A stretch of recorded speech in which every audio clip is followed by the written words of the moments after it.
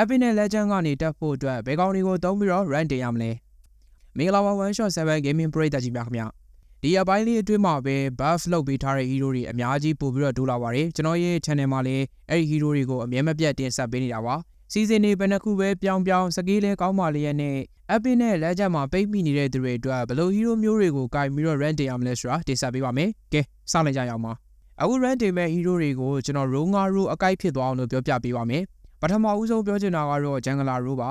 လောလောဆယ်မှာ Jungler ကိုင်မယ်ဆိုရင်တော့ကျွန်တော်တို့အရေးမတာတွေကလိုပဲဂျူရီဘဲ Jungler တွေကကင်လို့အဆင်ပြေနေတော့မှာပဲပြောရရင်တော့ Fighter Jungler တွေပါအခုလက်ရှိမှာအရွေးချယ်တင်ဆုံးတွေကိုပြောပါဆိုလို့ရှင်တော့ Sun, Alpha, Roger နဲ့ Barret တို့ကိုကင်ကြည့်ဖို့အတွက်အကြံပေးကြပါတယ်။ Alpha ရဲ့အားသာချက်အနေနဲ့ Early Game နဲ့ Mid Game မှာတစ်ဖက် enemy ကိုတော်တော်ဒုက္ခပေးနိုင်ပြီးကူးရောင်းတွေအရန်နေတာဖြစ်တဲ့အတွက်လူတိုင်းနှီးပါးကင်လို့အဆင်ပြေပါတယ်။ Barret နဲ့ Roger ဟာဆိုရင်လည်းပဲ Early Game မှာကောင်းကောင်းထိန်းပြီးတော့ကစားသွားနိုင်နေဆိုရင် Late Game မှာဘာမှလှုပ်ရှားမလို့ပဲအရန်ကျက်နေတဲ့ကောင်တွေပါ။မကြသေးခင်ကမှပူပူလောလော buff ပေးထားတဲ့ဆန်းဟာဆိုရင်လည်းပဲ Early Game မှာအရန်ကြီးအလုံးမဖြစ်ဘူးဆိုပေမဲ့ Mid Game နဲ့ Late Game မှာ enemy တွေဘက်ကိုပြခါနေအောင်လုပ်လို့ရပါတယ်။ corrosion site နဲ့ hunter strike လောက်ရပြီဆိုလို့ရှိရင်အကုန်လုံးကိုလိုက်ပြီးတော့ရိုက်ခွဲလို့ရနေပြီမို့လို့ tower ချိုးလို့လည်းကောင်း enemy ကိုလိုက်ချလို့လည်းကောင်းဆိုတဲ့ hero မျိုးဖြစ်နေတာပါ။ စမ်းအနေနဲ့ balance ကမလွတ်ဘူးဆိုပေမဲ့ alpha ray roger ray barret တွေကတော့ balance ကလွတ်မယ်လို့ထင်ပါတယ်။ဒီကောင်တွေကကျွန်တော်အနေနဲ့လည်းကင်ထားချပြီးသားမို့လို့ breaker 0ကင်ဖို့အတွက်အကြံပေးတာပါ။လောလောဆယ် epic နဲ့ legend မှာ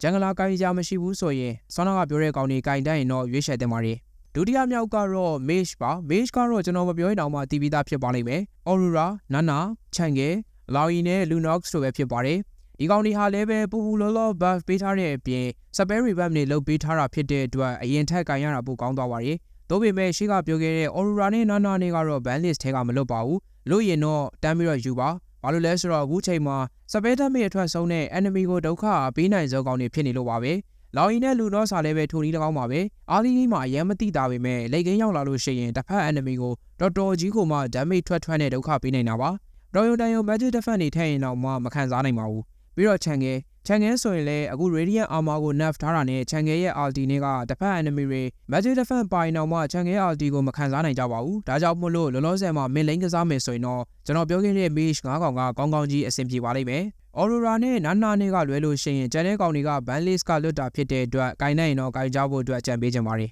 ။ကဲဒါဆိုရင်တော့ကျွန်တော်တို့ goal lane မှာဘယ်လို hero မျိုးကိုဂိုင်းပြီးတော့ run တင်လို့အဆင်ပြေမလဲဆိုတော့တွားရအောင်။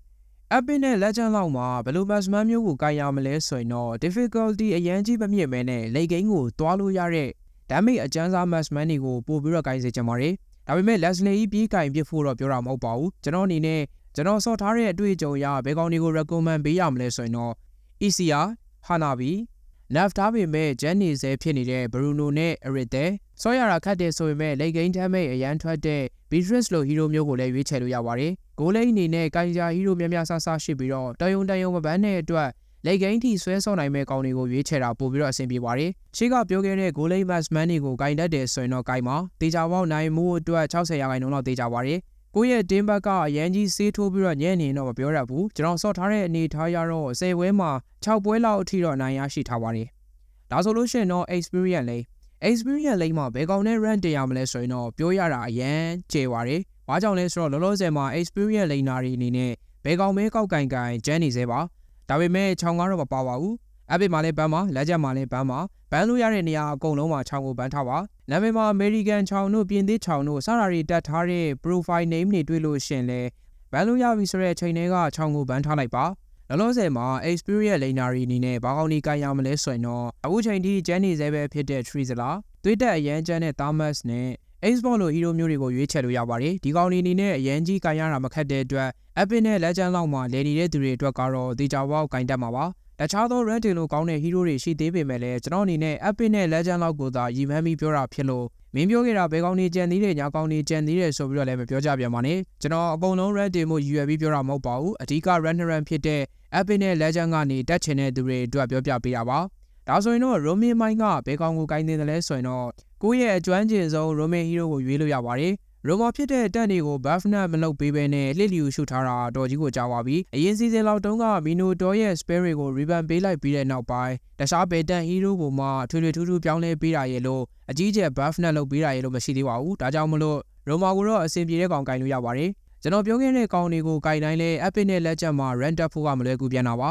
ဒါကဘာကြောင့်လဲဆိုတော့ဈေးထိုးတဲ့ကောင်တွေရဲ့ဂိမ်းစော်နေတော့ရီစားစီကဖုံးလာလို့ဖုံးပြောတဲ့ကောင်တွေရဲ့နဲ့ ချောင်းကိုအတင်းလူကင်ပြီးတော့လိမ့်မဖိနေတဲ့ကောင်တွေရဲ့နဲ့ဒီကောင်တွေများနေတာမို့လို့ဈေးကတော့တေချာပေါက်မိမှာပါအဲ့ဒီကြားတွေကမှကိုကဟီးရိုးရွေးချယ်တာမားခဲ့ပြီဆိုရင်လေတင်းကဈေးထိုးတာကတစ်မျိုးတစ်ဖက်ကအတကုံရိုက်တာကတစ်မျိုးနဲ့ပိုစိတ်ညစ်ရမှာဆိုတဲ့အတွက်အခုချိန်မှာဘယ်ဟီးရိုးတွေကကိုင်လို့အကောင်းဆုံးဖြစ်နေလဲဆိုတာကိုတင်ဆက်ပေးတာဖြစ်ပါတယ်ပရိသတ်ကြီးတို့သိချင်တဲ့အကြောင်းအရာရှိလဲကွန်မန့်မှာပြောခဲ့လို့ရတယ်ဗျနောက်ထပ်စီစဉ်နေမှာပြန်ပြီးတော့တွေ့ကြပါမယ်အဆုံးထိကြည့်ပေးတဲ့အတွက်ကျေးဇူးတင်ပါတယ်ခင်ဗျာ